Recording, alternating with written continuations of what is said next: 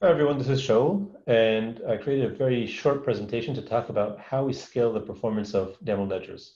It's a very high level presentation to give you a sense of what parts of the system can scale horizontally and what parts of the system don't.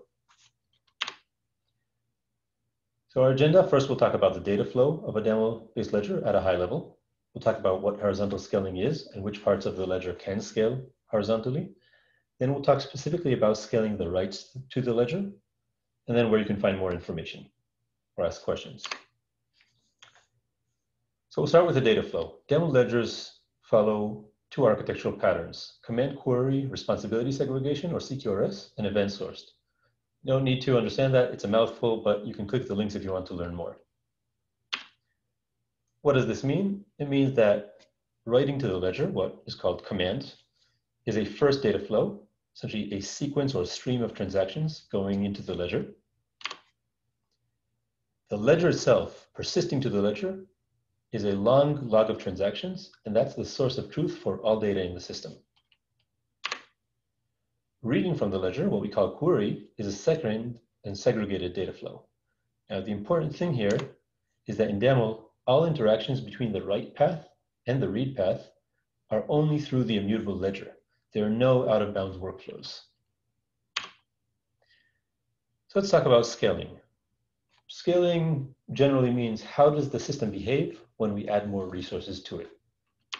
Horizontal scaling is a means to increase the throughput or reduce the latency by adding more resources to the system, resources which can process in parallel.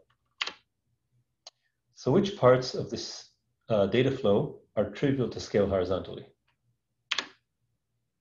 First of all, serving the API.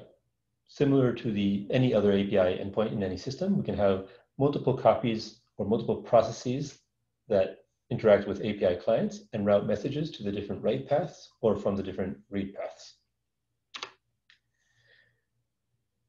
The read path is horizontally scaling, scalable because remember the source of truth is the blockchain, the event log. So by duplicating the full read path or duplicating components in this read stream and creating multiple copies, uh, we can serve multiple different API clients or even we can have multiple read paths that all go to the same API client at very high throughput.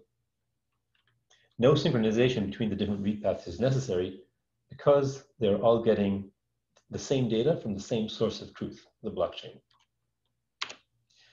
The write path isn't so trivial because we need to ensure that we're not writing conflicting transactions to the ledger. So we need to validate every transaction within the context of every previous transaction. So now let's dig into the write path. The write path, what we also call consensus in the blockchain world, has to validate three things about the transaction being written to the ledger. First of all, the transaction needs to conform to all of the business logic, the rules of Daml. The transaction needs to be authorized by someone who's allowed to write that transaction to the ledger. And the transaction can't conflict with any previous transaction.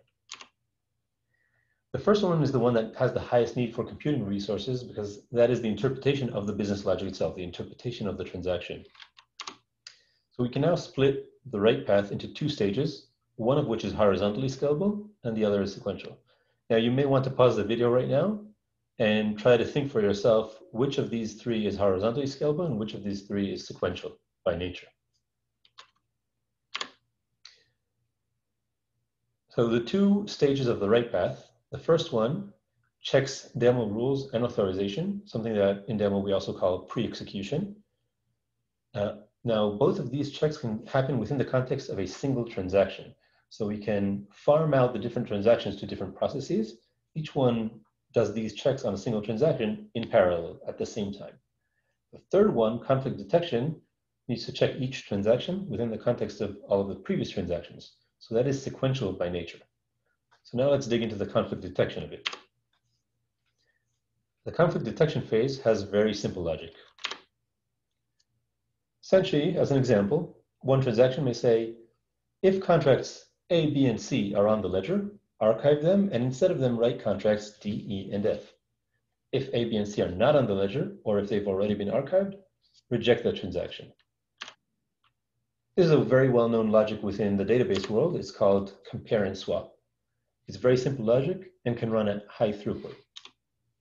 Now, even within conflict detection, some steps can be highly parallelized, but I won't be covering that in this deck. So within the context of blockchains, conflict detection is really the only piece of this whole system that needs to run within the consensus algorithm. So that's it. That was a very high level overview. If you have any more uh, questions or, or searching for more info, you can go to docs.daml.com to the section that talks about the scaling of ledger topologies. You can ask questions on discuss.daml.com or email me at shaul at daml.com. Thank you. Hope this was helpful.